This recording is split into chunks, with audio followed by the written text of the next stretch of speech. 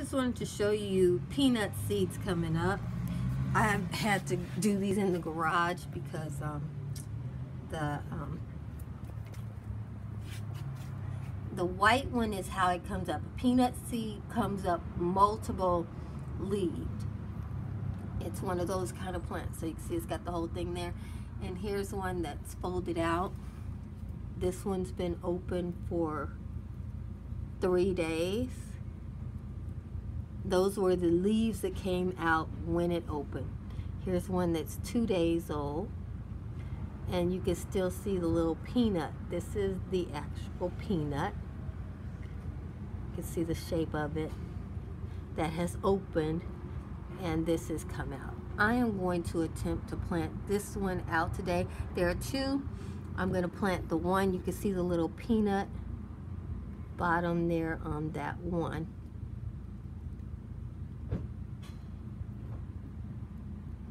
So I'm gonna plant that one. Here are my cantaloupe and melons. I've been planting them out.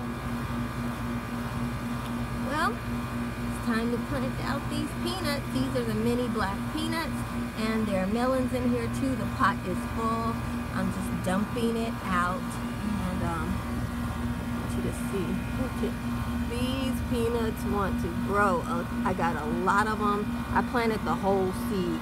So that's why you can see three plants, four plants coming out of one seed there. So I'm really excited. These are, I grew these last year and I'm to grow them again next, this year. Yes. I grew these melons last year. So this year hopefully I'll have enough time to harvest my melons. We'll see. It's almost August. I thought you might want to see this. I got almost 100% germination from these mini black um, peanuts. So I hope I have enough to get a carpet of peanut plants because peanut plants are really pretty. So I'm just breaking the roots apart here. You do it very gently when they're young like that and um, they, they don't go into much shock. Look at that taproot there. You really want to get that whole taproot. You don't want to break it. And um, just gingerly separating these. They're really fighting for it. Would have lost a lot of them if I couldn't separate them like this. But um, see, I got it. It'll make it. Got enough to deal with the wilderness. The urban wilderness. We got coyote, hawks, owls, rodents of all manner. See, these were really fighting for it. But I'm gonna replant them. I must have a hundred of these. Praise the Lord. Okay, I just wanted to show you. Okay, so I got it planted, and now I'm just going to heal this little bad boy up.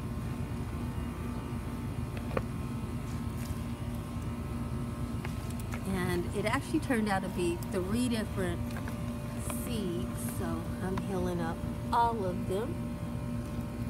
Sorry, can't see that one as well. There it is. They need some water. I don't know if they'll all make it, but I'm healing them up anyway, just on the shoot that they can. And the last one over here, this one wasn't gonna make it if I hadn't planted it out because it was struggling underneath the others. I'll heal that one up too.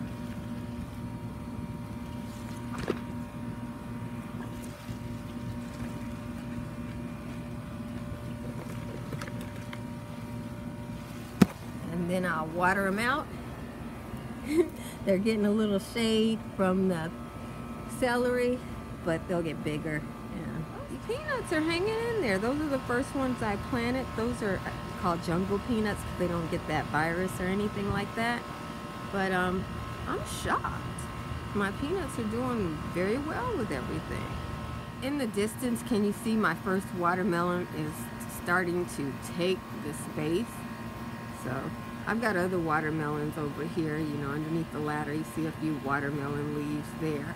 But um, it is too funny. Yeah. Those white flowers are carrot flowers. Let me see. I'm trying to see if any of the peanuts I planted over here are making it.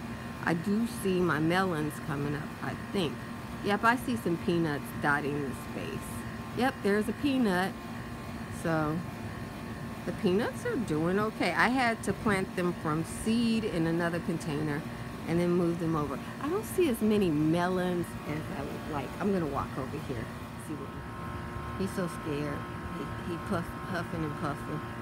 I'll show you. He lives underneath the lemon. Last year my back wouldn't allow me to pick the, um, to dig up the potatoes. But I got another chance this year because it looks like the potatoes are starting to come up. This is the month of August. And see, I wouldn't have even planted them in August, so now I know if you plant your potatoes, you probably need to plant them in July for Southern California because these came up naturally on their own and they're coming up the first planted. a ton of melons over here and I only see three melons now or four melons okay? I tell you melon maybe there's five but I wanted hundreds of melons. But the peanuts are the peanuts came out did really well I see the little peanuts everywhere so that's good at least I got something you know I'll maybe I should plant more peanuts because peanuts seem to be okay and they seem to be transplanting very well. I see peanuts everywhere. Do you see all the honeybees? I didn't even know I had honeybees, but there are honeybees just going in on this. all those little wings everywhere.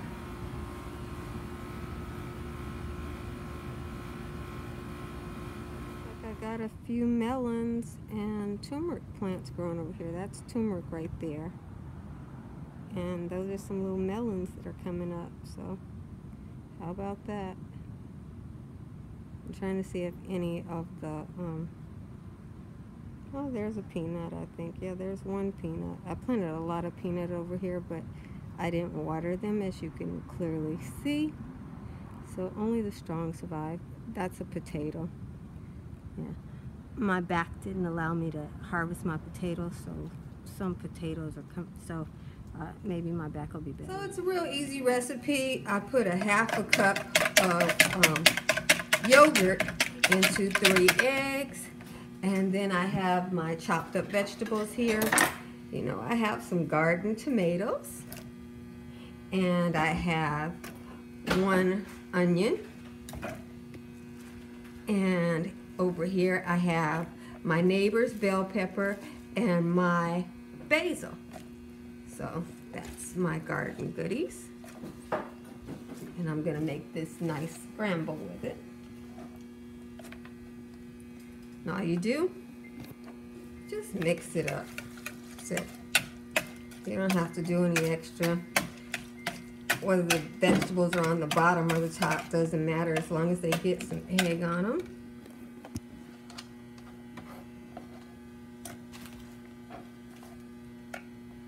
We're having a vegetarian breakfast. I've already heard a few complaints about it, but it's good for you. And there Okay, so now I'm making the sauce for our meal, which is just uh, crushed tomatoes with some cumin and my Cajun seasoning just to give it a little flavor. And we'll use that over our eggs because you know we're not doing cheese today. So that'll give it a little juiciness and flavor. Okay so here we have the coconut oil heating and now I'm putting the vegetables on. Mom's trying to help me get light right. I don't think that light works over here though Mom. I think this is the light that I get over here. Okay, so there we go. I'm sorry, I said vegetable. It's a vegetable and egg breakfast scramble. And I'm just letting it coat the pan. Cook up nicely in that coconut oil. And then I will flip it and serve. Yeah. Whole wheat biscuits I made. Yeah, they're ugly, but they're homemade. And there's my salsa. And here's my soft scrambled eggs. You can see they created a juice right there, and I'm just letting them get like this side. There it is. Okay. Fix your plate. Okay. You gonna take the picture of this? Yeah, go ahead. Fix your plate. Okay. Oh, there you go. You gotta have some more here. Get as much as you want. There you go. You see how it's dry at the bottom. Mm-hmm. Got to have your butter. Huge stuff. You sure that was him? Because he was huge. Yeah, you can't miss him. I thought he was a hummingbird.